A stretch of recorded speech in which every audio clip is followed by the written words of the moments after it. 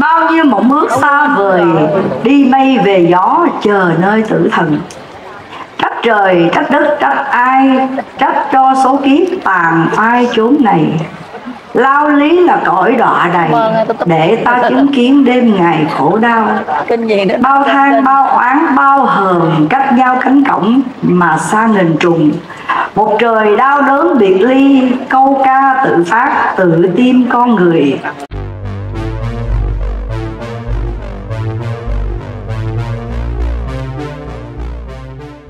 một sự ghẻ lạnh, một sự cô đơn và một sự cô độc. Và tôi phải xài tất cả những thứ mà tôi nghĩ rằng cả cuộc đời tôi chưa bao giờ tôi phải sử dụng. Cho nên tôi cảm giác có những lúc tôi cảm thấy mình bị trừng phạt thì đúng hơn và tôi đã học được bài học để trưởng thành, là mình phải thích nghi vào mọi hoàn cảnh.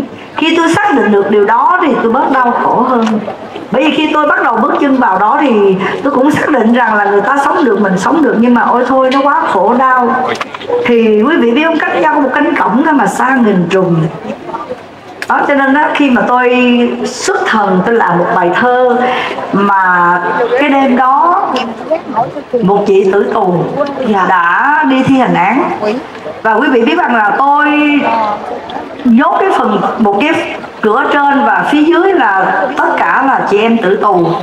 Thì tôi xuất thần, tôi làm ra một cái bài thơ.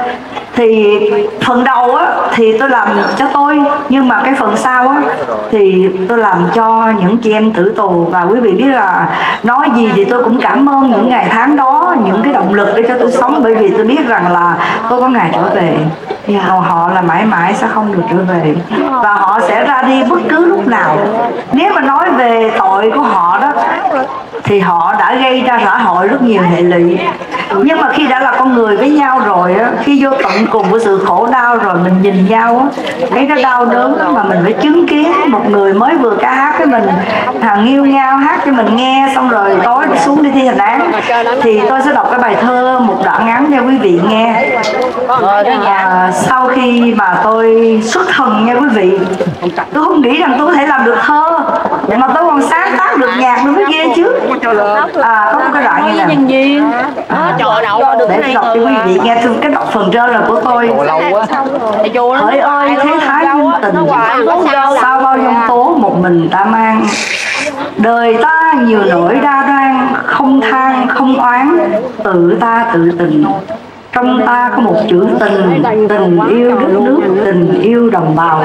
Là tôi nói về phần tôi.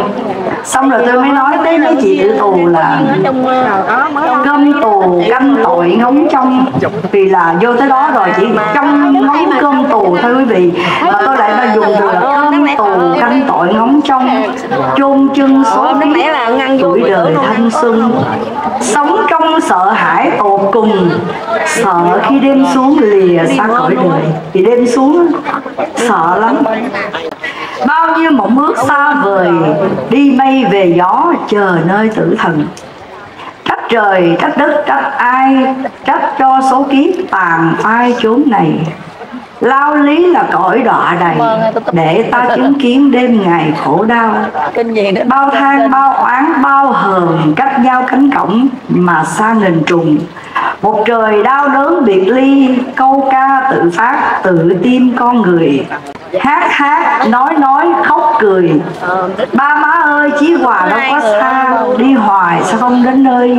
mau rước con về đi ba má ơi cho con về với quê nhà, cho con đoàn tụ ông bà tổ tiên. Nghe xong lòng muốn đảo điên, hóa điên để được bình yên chốn này hỡi ơi, thế thái nhân tình, sao bao trong tố ngẫm rồi vương mang? Thương thay số kiếp lầm than, tình tiền tù tội đeo mang kiếp người. Là tôi đã sáng tác 40 48 câu thơ lục bát. Trong một đêm tôi thức thần, vì chứng kiến. Một bạn đó đã đi thi hành án. Mà quý vị biết rằng là đa số là ma túy. Kể cả đi tù 90 phần trăm là ma túy. Mà ở ngoài thì là ông trùm bà trùm rồi đó. Tất cả những cái gì họ làm. Tới khi vào đó rồi thì coi như là cái mạng cũng không còn. Gieo gieo nhân thì gặt quả. Gieo bao nhiêu cái hệ lụy cho xã hội. Thì tới chừng mà đi phải chấp nhận một cái bản án tử hình nữa là trong bốn bức tường cho đến ngày mà phải nhận đi thi hành án Dạ. cho nên là đã quá nhiều cảm xúc cho tôi.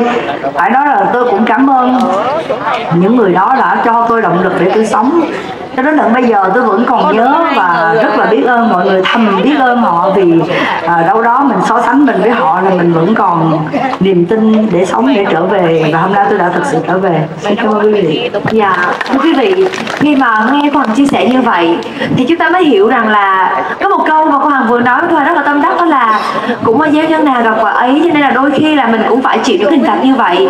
Và Thu Hằng cũng hiểu là ờ, cô Hằng đã trải qua rất là nhiều những cái biến cố, những cái khó khăn mà không phải là ai cũng có thể hiểu được đâu ạ. Nên là cô ấy cũng chia sẻ rất là nhiều với quý vị khán giả ngày hôm nay. Nhưng thôi Thu Hằng nghĩ là cái câu chuyện ấy là câu chuyện mà khi mình chia sẻ ra để mọi người có thể hiểu nhau hơn. Nhưng nếu cứ nhắc mãi về nỗi đau ấy thì nó sẽ là mãi niềm đau ấy. Nhưng mà cái mục đích của cô muốn nói rằng là cố gắng có người tâm mình sống sao đừng vi phạm pháp luật dạ, để rồi mình phải trả một cái giá. Bởi vì mình ăn cơm ngày có hai bữa mình cũng sống như những người khác. Đừng có bao giờ mà mình nghĩ rằng là mình làm một cái đó rồi. Cô nói thật lòng, khi mà cô tiếp xúc rồi á, thì cô mới thấy rằng nó là một trong những cái hệ lụy mà nhân quả là tìm tới ngay. Không có một người nào mà dính vào ma túy mà không phải vướng vào tù tội. Hiếm lắm, thông trước thì sao thế nào cũng phải dính. Có những người tinh vi đến nỗi mà họ không thể nghĩ rằng một ngày nào đó họ sẽ xa lưới, nhưng mà cuối cùng chính bản thân họ cũng không nghĩ là là họ. Nhưng mà rồi phải trả giá thôi, cho nên là tôi khuyên mọi người là bây giờ trong xã hội nó quá nhiều cái cái kiểu cách để mà nó đưa ma túy vào Việt Nam để mà hệ hệ lụy cho các thế hệ trẻ sau này. Trong đó có con em chúng ta và đất nước mỗi ngày mỗi coi như nhiều tội phạm thêm. Thì cố gắng làm sao cô nói là cái nơi cô ở là 90 phần trăm là ma túy là phải biết. Dạ. phải biết là con số khủng tới mức nào. Hỏi ra tòa ma túy hỏi ra tòa ma túy. Còn những cái án khác thì là rất là ít. Hiếm thôi Dạ. Như vậy đó cũng là lý do vì sao mà ngày hôm nay có buổi talk show thông cảm hay thông bởi vì không phải chỉ là chia sẻ về một câu chuyện với góc nhìn của một cá nhân đâu mà qua đó là lan tỏa lên những thông điệp và ý nghĩa cho cộng đồng. Rằng đầu tiên là sống làm việc theo pháp luật.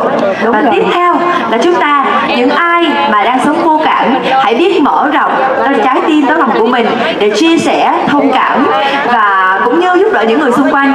Vì vậy mà ngày hôm nay bên cạnh cái câu chuyện mà cô Hằng chia sẻ thì chúng tôi muốn đặt thêm một câu hỏi nữa cho cô Hằng. Đó là cô Hằng thân mến mình cũng thấy là trong thời gian vừa qua đã có rất là nhiều những cái ý trái ý kiến trái chiều với nhau.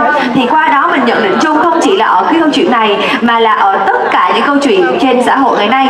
Thì do ờ, cái sự phát triển của mạng xã hội dẫn đến là người ta rất là dễ để có thể là bình luận, tương tác, cũng như để lại những cái ý kiến. Đó, thì đôi khi là bởi vì cái sự dễ đó như vậy, cho nên là cũng có những người người ta không có được thông cảm mà vô cảm để lại những cái lời bình luận hay là những cái ý kiến khiến cho người khác đọc đến hay là ảnh hưởng đến tâm lý cũng như là hành động của người khác.